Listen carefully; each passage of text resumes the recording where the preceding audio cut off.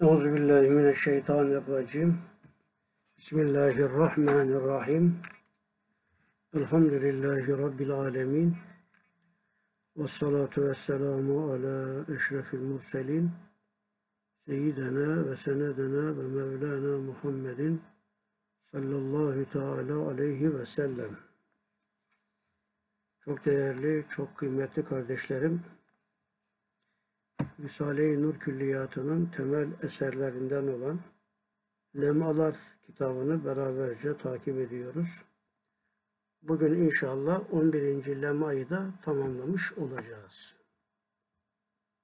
11. lema üstünde biraz daha fazla durduk. İsrarla durmaya çalıştık. Çünkü Efendimiz Aleyhisselatü Vesselam'ın sünnet-i seniyyesine ittiba etmek, bu aynı zamanda âli şahsiyetine, insanlığın veya Seyyidül Kevneyn derdi eskiler, onların imamı olduğundan iktida etmek. Efendimiz Aleyhisselam'ın sünnetine ittiba etmeyen, ona iktida etmiş olmaz. Arkasından gittiği de söylenilemez. Tabi bu dünyada nelerin kaybına sebebiyet verir, ahirette neleri kaybettirir veya iktida edersek dünyada neler kazanırız, ahiret alemine ait kazançlarımız ne olur? İşte bu mikyaslar, ölçüler içerisinde biraz uzunca tutmaya çalıştık. Çünkü günümüzde herkesin bir yolu var. Hatta İslam içerisinde bile farklı yollar. Onlara tarikat da demişler. Tarik zaten yol demek. Tarikatlar da Allah'a giden yollar demektir. Herkes farklı bir şey tutturmuş gidiyor. Halbuki bizi Allah'a götürecek en kestirme yol, en tehlikesiz, en hatarsız yol doğrudan doğruya sünnet-i seniyeye tabi olmaktır. İşte ısrarla bunu anlattı. Bugün 11. nükte üstünde duracağız. Bu da kendi içerisinde üç mesele halinde, üç bölüm içerisinde ifade edilmiş. 11. nükte üç meseledir. Birinci mesele. Resul-i Ekrem Aleyhisselatü Vesselam'ın sünnet-i seniyyesinin menbaı üçtür. Bu daha önce de geçti aslında. Altıncı nüktede özetle geçti. Burada biraz daha açacak. Bu bütün usul kitaplarında anlatılan hem kelam kitaplarında hem hadis kitaplarında hem de usulü fıkıhta anlatılan bir taksimattır. Efendimiz Aleyhisselatü Vesselam'ın sünnet-i seniyyesinin üç tane kaynağı var. Bir, akvali, Efendimiz Aleyhisselam'ın mübarek sözleri. İkincisi, efali, kendi fiilleriyle hayatında tatbik ettiği şeyler. Üç, ahvali demiş. Ahval de biraz burada Efendimiz Aleyhisselam'ın takriri sünneti olarak da ifade edilmiştir. Bunu ezberleyelim. Efendimizin sözleri, fiilleri ve sükutu. Yani sahabe-i kiram bir iş yapmış. Doğru mu yapmış, yanlış mı yapmış? Yanlış olursa Efendimiz hayır öyle değil de şöyle derdi. Ama önünde yapılan bir fiili sükutla, susma ile mukabelede bulundu ise Efendimiz Aleyhisselatü Vesselam onu tasvip etmiş, yapılabilir demek. Bu bizim Türkçemize şöyle bir cümle olarak yansımıştır. Sükut ikrardır. Evet, Efendimiz Aleyhisselam'ın sünnetinin kaynağı bu üç husus. Bu üç hususun izahı farklı açılardan risaleleri risalelerle şerh etmeye çalışıyorum. 19. mektubun dördüncü nükteli işaretinde altı esas olarak anlatılmıştır. Lütfen bugün ayrıldığınız zaman bu sohbetten 19. mektubun dördüncü nükteli işaretindeki altı esası okuyunuz. Ve Efendimizin fiillerinin, sözlerinin sünnet olması, yani sırat-ı müstakimi ifade etmesi, aynı zamanda bazı soruların da müşriklerin tereddüt ifade eden şeklerinin de cevapları mahiyetindedir. Mesela müşrikler diyorlardı ki niye Allah bize meleklerden peygamber göndermedi? Bu Kur'an-ı Kerim'de müşriklerin sözü olarak ayetle de sabittir. Niye mesela zenginlerden peygamber göndermedi? Peygamberin bileğinde altın bilezikler olmalı değil miydi? Veya iki zenginden birisine niye peygamberlik göndermedi? Taif'te Urve İbni Mesud-u Sakafi veya Mekke'de Ebu Sufyan'dan birisine peygamberlik gönderilmeliydi. İşte bütün bunların cevabı olarak Efendimiz Aleyhisselam'ın akvali, melek hepimize tek tek anlatamaz. Ancak insanlara insanlardan peygamber gönderilmeli ki konuşmalarını insanlar anlasınlar. Ama özellikle fiilleri. Çünkü peygamber sadece Allah'tan mesaj alıp onu tebliğ eden değildir. Aynı zamanda yaşantısıyla, fiilleriyle de bak işte böyle yapacaksınız diye rehberlik yapar, imamlık yapar. Onun için melek yemez, melek içmez, melek uyumaz, melek evlenmez, melek öfkelenmez. Hiç öfkelenmeyen, alışverişe, yemeye, içmeye, yatmaya ihtiyacı olmayan melek fiilleriyle bize imam olamaz ki. Biz meleğe tabi olamayız ki. Onun için hayatı bütün noktalarıyla ifratlardan ve tefritlerden masum ve mahfuz kılacak hattı vasatı, sırat-ı müstakimi temsil edecek fiilleriyle önümüzde bir rehber olmalı. Bu da ancak insanlara insanlardan gönderilen bir peygamberle olabilir. Kısaca o altı esası havale ettim. Merak edenler açısından fakirin mektubat dersleri de var YouTube'da. Oradan üstünde de yazıyorum zaten. Bu husus orada daha farklı boyutlarıyla anlatıldığı için oraya havale ederek geçiyorum. Evet Efendimiz Aleyhisselam'ın akvali yani sözleri, efali yani fiilleri bir de ahvali veya buna sükuti, takriri sünnet de deniyor. İşte bunlar sünnetin kaynakları. Bu üç kısım dahi üç kısımdır. Ayrı bir taksimat yapıyor. Bir feraiz, iki nevafil, üç adatı hasenesidir. Aslında sünneti tarif edenler şöyle tarif etmişlerdir. Efendimiz Aleyhisselam'ın farzlar ve vacipler dışında yaptığı din adına yaptığı şeylere sünnet denilir. Eğer bu tarifle meseleyi ele alacak olursak Efendimizin yaptığı farzlara sünnet denmez. Vaciplere de sünnet denmez. Farz ve vaciplerin dışında kalan yine din adına Efendimiz vahiy ile müeyyet olarak yaptıklarına sünnet denir. Ama bir kısım usulcüler de çünkü Efendimiz farzları da yaşadı peygamber olarak. Yapın dedi hem fiil hem de kavilleriyle. Efendimizin yaptığı farzlar var ama onları farz olarak yapmıştır. Biz ona ittiba etmek mecburiyetindeyiz. Terk edersek büyük günah, eğer inkar ederek terk ederse de kul küfre ve şirke gitmiş olur. Vacipler, Efendimiz Aleyhisselam'ın mesela gecede kıldığımız üç rekat, işte fitri vacip dediğimiz namaz, vacip namaz, Efendimiz Aleyhisselam bunları da yapmış. Ama bu vaciplere de ittiba mecburiyeti var. Burada diyor ki farz ve vacip kısmında ittibaa mecburiyet var. Terkinde azap ve ikap vardır. İkap en sonda verilen büyük azap demektir. Ahirette yani. Azap dünyaya bakıyor, ikap da ahiretteki azaba bakıyor. Herkes ona ittibaa mükelleftir. Farz ve vaciplerin dışında Efendimiz Aleyhisselatü Vesselam'ın yaptıklarına da nevafil deniyor. Nafile çoğulu nevafil. Ama bunlar da kendi içinde Efendimiz Aleyhisselam sürekli yaptığı, yaptığı sünnetler var. Dikkat buyurun. Bunlara iki tabir kullanmış. Bir revabıt sünnetler. Revabıt. Veya bunlara sünnen hüda denmiştir. Efendimiz Aleyhisselam'ın terk etmediği, çok defa yaptığı, çok nadir terk ettiği sünnetler, nevafilin kendi içerisindeki sünnetler müekked sünnet diyebiliriz. Sünnen-i hüda diyebiliriz veya revabıt sünnetler Efendimizin sürekli yaptığı manasında revabı sünnetler diyebiliriz.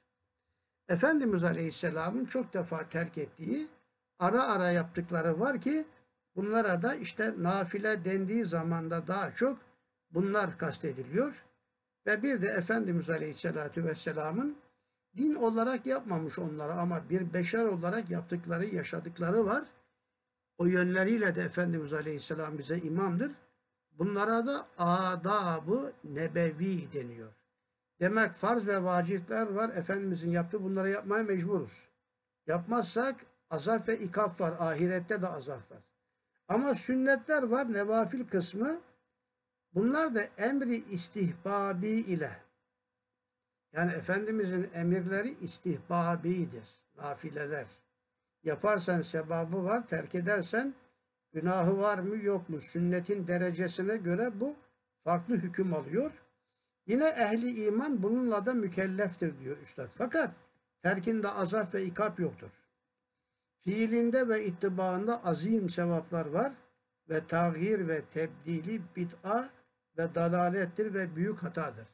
Demek Efendimiz Aleyhisselam'ın sünnetlerinin tebdili, tağyiri e, hem büyük hata hem de bunlara bid'at deniyor.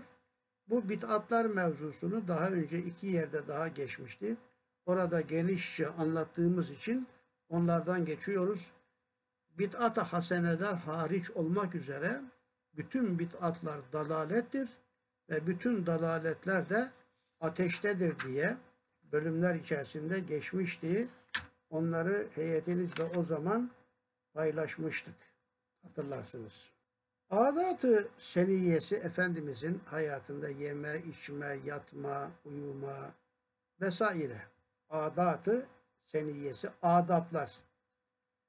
Harekat-ı senesi ise hikmeten, maslahatan, hayatı şahsiye ve nev'iye ve içtimaiye itibariyle onu taklit ve ittiba etmek gayet müstah, müstahsendir. Bu daha önce geçmişte adetlerini Efendimizin adetlerine benzetenler adetlerini ibadete çevirirler. Adapları bile ibadete dönüşmüş olur. Bunun üstünde misalleriyle beraber daha önce durmuştuk. Çünkü her bir hareketi adiyesinde Efendimizin normal beşeri hareketlerinde çok menfaat hayatiye bulunduğu gibi mutabaat etmekle o adaf ve adetler ibadet hükmüne geçer. Bu mantığı Üstad bu 11. lemada 3-4 defa anlattı. Yani ısrarla bunun üstünde duruyor. Mesela o kadar ince Efendimizin hayatı seniyesini ele almış, tabi olmuşlar ki büyükler. Mesela bu menkıbe eğer doğruysa Ahmet İbni Hanbel hayatında hiç karpuz yememiş derler. Niye karpuz yemiyorsun? Çünkü demiş ben hadis rivayetlerini inceledim. Efendimizin karpuz yediği, Efendimiz karpuz yemiş de fakat nasıl yediğine dair bir rivayet görmediğim için ben şimdi bu karpuzdan yersem Efendimizin yediği gibi yiyememiş olacağım adetim Efendimizin adetine, adabına riayet etmemiş olacak. Bu da benim için iyi değildir yani diye bu kadar bir incelikle, hassasiyetle Ahmet İbni Hanbel karpuz yemediği söylenir. Menkıbe dedim buna rivayet açısından tenkidi yapılabilir. Yani büyük zevat buraya kadar dikkat etmiş. Her şeyini Efendimiz Aleyhisselatü Vesselam'ın hayatına uydurmaya, benzetmeye çalışmışlar, öyle yaşamışlar. Aslında Efendimizin bu adetleri, adapları bile bizim faydamızadır. Mesela Efendimiz ayakta su içmemiş diye biz de ayakta su içmesek hem su içmiş olur hem de Efendimiz oturarak içti diye içersek sevap kazanmış oluruz. Efendimiz Aleyhisselam üç yudumda içmemiş, üç solukta içmiş birkaç yudum içmiş, bardağı çekmiş. Birkaç yudum daha içmiş, bardağı çekmiş. Üst solukta yani içmiş. E şimdi ilim dünyası bunların faydalarından bahsediyor bize. Suyu ayakta içerseniz, lakır lakır bir bardağı bir solukta içerseniz e, hızlı girdiği için midede böyle müthiş bir darbe ve sonra tahribat yapacağı yani böyle bir su içmenin sağlığa ters olduğunu anlatmışlar. Efendimiz Aleyhisselatü Vesselam mesela tok karnı yatmamış. Tok karnı yatmayın demiş. E biz böyle bugün de dikkat edersek tamam bundan da fayda görüyoruz. Çünkü çok tok karnı yatan bir insanda mide ekşimesi olur. Kalktığı zaman baş ağrısı olur. Kasaveti kalbe, kalp krizine bile sebebiyet verebilir. Yani Efendimiz Aleyhisselam nasıl yaşadıysa bu normal bir insani yaşantı değil. O bile hem sıhhatimize faydalı, hem psikolojimize etkili, hem aile, topluma faydalı ve hem de aynı zamanda manevi hastalıklara karşı, kalp katılığına karşı da bir tedavi oluyor.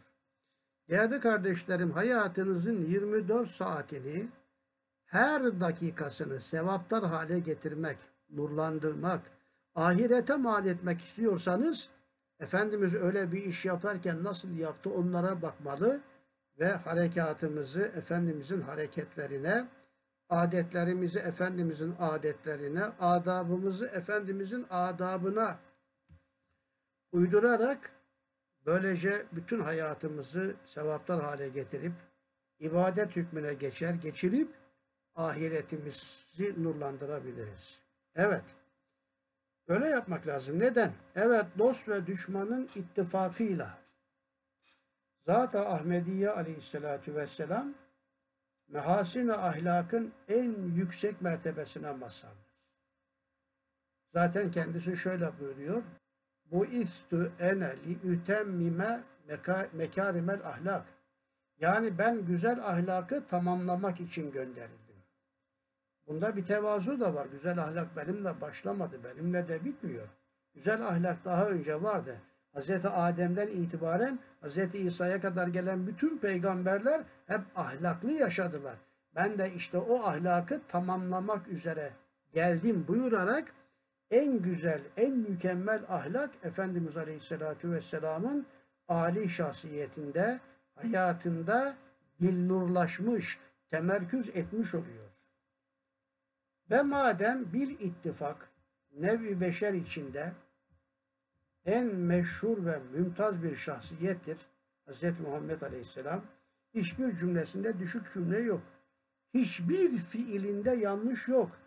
Ve madem binler mucizatın delal, delaletiyle ve teşkil ettiği alemi İslamiyet'in ve kemalatının şehadetiyle o mübelli, dinin tebliğcisi ve tercüman olduğu Kur'an-ı Hakim'in hakaikinin tasdikiyle en mükemmel bir insanı kamil, beşer tarihinde bütün dost ve düşmanın ittifakı ile en kamil insan Hz. Muhammed Aleyhisselam'dır.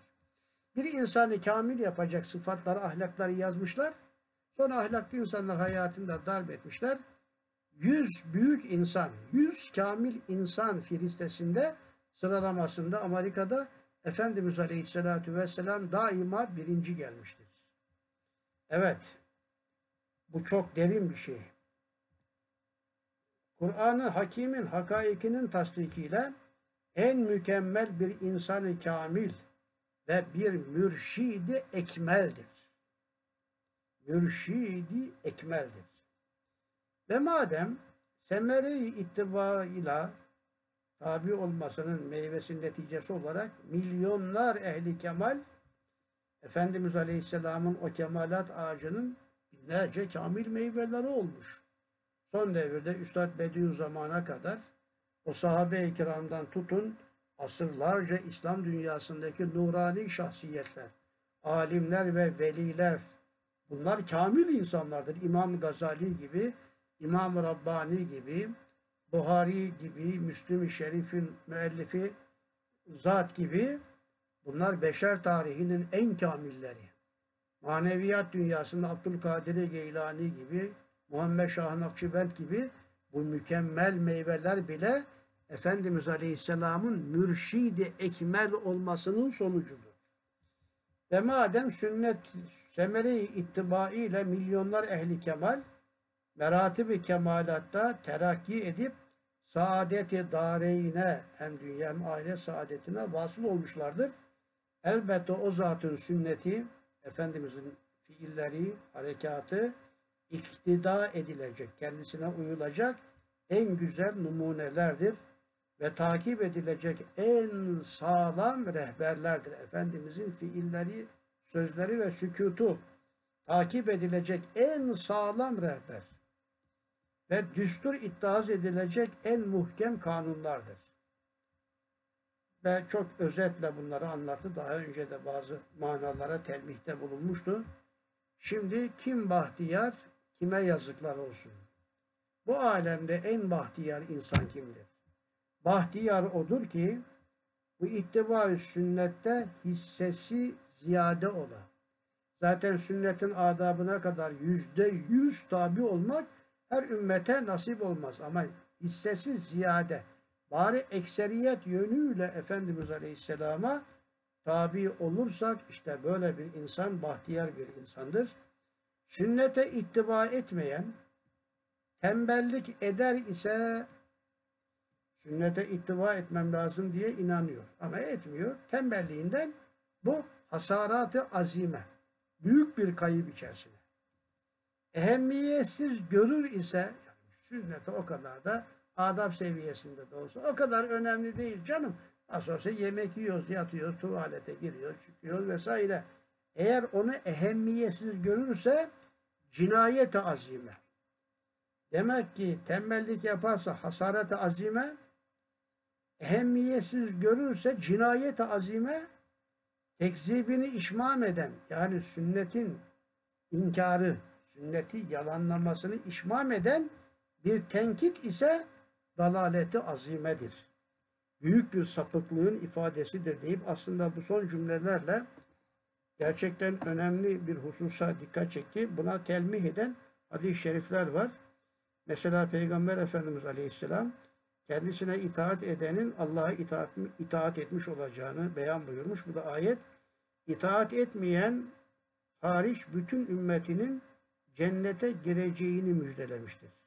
Buhari, İtisam, Ahkam'da, Cihat'ta, Müslim, İmare'de ve Nesai Beyat bölümünde bu şerifi nakletmiş. Burada bir önemli hususa temas etmek istiyorum. Efendimiz Aleyhisselam'ın sünnetinin tekzibini işmam eden, yani açıktan tekzip etmiyor sünneti. Açıktan inkar etmiyor. Ama sözün işaretinde varsa bu diyor böyle bir tenkit dalalet-i azimedir. Ama Efendimiz Aleyhisselam'ın sahih hadislerle sabit olan sünnetini inkar ederse, hafife alırsa bütün usulcüler bu mevzuda bunu elfazı küfür içerisinde değerlendirmişlerdir. Demek ki Efendimizin sünnetini hafife almak hatta inkar etmek insanın imandan çıkmasına bile sebebiyet verebilir. Misali vermişler. Bir insan dese ki Efendimiz Aleyhisselam kabağı çok severdi. Gerçekten Efendimiz kabağı seviyordu. Çünkü Hz. Yunus Aleyhisselam da var arada. O kabak ağacından gelen su ile hayat buldu, sıhhate kavuştu. Mecburi istikamet tekrar Ninova halkına, kavmine döndü. Efendimiz Aleyhisselam bu hatıradan dolayı kabağı severdi. Bir insan dese ki Efendimiz kabağı çok severdi. Bir insan da tam o anda Efendimiz kabağı çok severdi dendiği hengamede dese ki ya inadına tüh ben de hiç kabağı sevmem dese dalalete gider, küfre gitme ihtimali de vardır. Çünkü bir insan kabağı sevmeyebilir. Ama Efendimiz kabağı severdi dendiği zaman ya ben de hiç sevmem derse bu Efendimiz Aleyhisselam'ın sevmesine karşı bir yönüyle adab seviyesinde de olsa sünnetine karşı gelmek demektir ki işte böylece tekzibi işmam eden tenkit dalaleti azimedir. Büyük bir sapıklıktır. Ama açıktan sünneti inkar ederse canım bu asırda da bu sünnet olur mu derse evet küfre gitme ihtimali oldukça fazladır. En azından öbür aleme gittiği zaman Efendimiz Aleyhisselatü Vesselam'ın şefaatine mazhar olamaz ve bu da onun öbür alemde yani peygamberlerin dahi sellim Allah'ım sellim çektikleri bir haşir meydanında düşünün ki Efendimizin şefaatine herkesin ihtiyacı olacak. Öyle bir anda Efendimizin bizi tanımaması yani. Çünkü bunu anlatan Buhari Müslim hadisi de var. Kıyamet koptuktan sonra insanlar denizlerin dalgaları gibi olacak haşir meydanında. Bir insan seli o taraftan bu tarafa doğru gelirken diğer bir insan seli bu taraftan o tarafa doğru gidecek. Haçta bazı insanlar bu insan sellerinden ezilmiştir yani. Eskiden haberlere çok çıkardı. Böyle olacak haşir meydanı. Öyle bir anda ya sersem sersem gezip durmayın denecek. Sonra şefaat uzunca anlatılır şefaat hadisi. Efendimiz Aleyhisselam o Buhari Müslim hadisinin devamında buyuruyor ki ben Havz-ı Kevser'den avucumla ümmetime su vereceğim. Çünkü insanlar 300 sene kalacak güneş bir metre inmiş susuyacaklar. Bir rivayette Havz-ı Kevser'den su içecekler. Havz-ı Kevser'in başındaki tasların sayısı gökyüzündeki yıldızlar sayısınca olacak. Demek ki liyakat kesmeden herkes o havuzdan su içebilecek. Bir rivayette ise ben diyor kendi avucumdan ümmetime su vereceğim. Tam ümmetime su verdiğim hengamede onlar bazılar havuzun başından kovulacaklar. Ben diyeceğim eshabi ya Rabbi eshabi ümmeti ya Rabbi ümmeti onlar benim eshabım onlar benim ümmetim ya Rabbi diyeceğim. Çünkü burada şu incelik vardır. Havz-ı Kebir'den, Havz-ı Kevser'den bir yudum, bir tas, bir avuç su içiyorsa aa, bu gösteriyor ki hesabı asan olacak cennete gidecek. Ama Havz-ı Kevser'den bir yudum, bir tas, Efendimizin avucundan neyse su içemiyorsa hesabı çok çetin ve cehenneme gidecek demektir. Yani oradan su içmek sonucunda işaretlerini verecek. Onun için bazıları diyor havuzumun başından kovulur. Ben de içim yanmışçasına. Çünkü kovulması demek hesaptan geçemeyecek, cehenneme gidecek demek. Ümmeti, ya Rabbi ümmeti derim. Bana Cenab-ı Hak buyurur ki La tedri ma ahdesu ba'dek ya Muhammed. Sen bilmiyorsun der ya Muhammed. Onlar senden sonra ne bid'atlar ihdas ettiler. Sen hala onları ümmetin içinde zannediyorsun. Halbuki onlar senin yolunu, sünnetini terk edeli çok oldu. Ne sünnetleri terk ettiler. Efendimiz de yana yakıla ben de ne diyeyim? Ben de işte İsa Aleyhisselam'ın dediği gibi derim diyor. Onların içindeyken görüp gözetiyordum. Ya Rabbi ben ayrılınca onların ne yaptığını bilmem ben. Onların içerisinde rakib olan, basir olan, müheymin olan, aziz ve hakim sen kaldın Allah'ım diyeceğim diyor. Ama içi yanmışçasına. Öyle anlaşılıyor ki sünnet-i seniyyenin tenkidini işmam eden dalalete asimeye düşer ama açıktan tenkit ederse bunun küfre gitme ihtimali var. Küfre gitmese bile öbür alemde Efendimizin şefaatinden mahrum olur. Mesela Elfaz-ı Küfür kitabı okumanızı isterim bir tane değerli arkadaşlar. İnternetlerde de var. Yani öyle lafızlar var ki insan anında kafir yapar. Mesela bunlardan bir tanesi çok anlatılmış usul ahlak kitaplarında hocalarla alakalı fıkralar. Yani bir bostana bir dana bir hoca girerse önce hocayı çıkar yani. Mesela bu dalga geçmektir. Hoca filan adam dese bunda problem yok. Gıybetini yapmış olur sadece. Ama hoca deyince çünkü Efendimiz de bir hocadır. Efendi, Üstad Hazretleri Efendimiz için hocayı kainat tabirini kullanmıştır. Hocayı kainat diyor.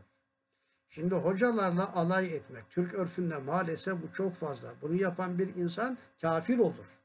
Siz artık misalleri oldukça çoğaltabilirsiniz.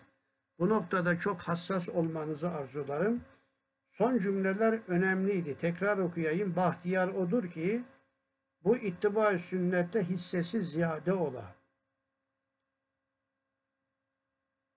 Sünnete ittiba etmeyen, tembellik eder ise hasareti azime, ehemmiyetsiz görür ise cinayete azime, tekzibini işmam eden tenkit ise dalaleti azimedir dedi. Ben de kısaca aktardım. Aslında sadece şunu birkaç sohbet yapabilirdik. 11. nükte 3 meseleydi. İkinci meseleye geldik.